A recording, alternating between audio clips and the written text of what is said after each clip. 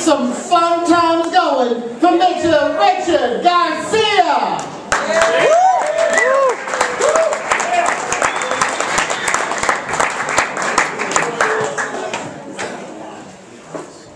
I think there's two kinds of jokes. There's the jokes you make because you're witty and funny, and then there's the jokes you make that aren't really jokes, they're just embarrassing stories. Can you guess what kind of joke I'm going to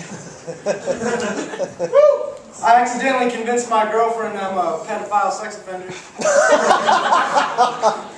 um, it was through a text. It was more of like out of anger. I was sick of Morningwood, so I texted her. I would, what, what I should have texted her was, I would love sex before school, but I'm an educated gentleman, so I use my Latin roots. So I texted her, I would love preschool sex.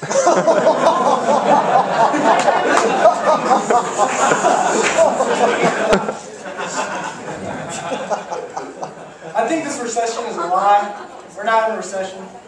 We don't have an economic crisis. We have a hipster crisis. I think there's a direct correlation between our unemployment rate and the amount of hipsters around. Because if you walk into a job interview with flip-flops, your sister's jeans, a Grizzly Adams beard, and a skin-tight V-neck with a children's cartoon on it, are they really going to hire you? like, the manager at Olive Garden didn't think you're, you're a possible employee. He probably thought you're some kind of homeless, homosexual man-child begging for scraps. like, any hipsters here? Any hipsters? No? Is this club not longboard accessible?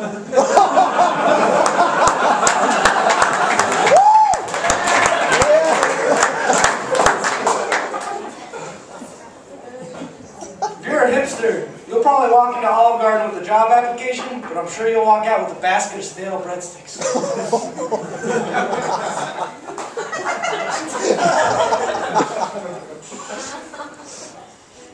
Any Nicki Minaj fans out here? Nicki Minaj. She's real hit or miss for me. Like, if I listen to her on the radio, I think she really sucks. But like, if I see her in a music video, she's really good. And I don't know why she's so much better to watch than listen to. I just can't grab the idea of why it's so much more entertaining. The visualization, it just, it just jiggles around my brain. I, I don't understand, you know, and I've thought about it, and it's probably because MTV has more, you know,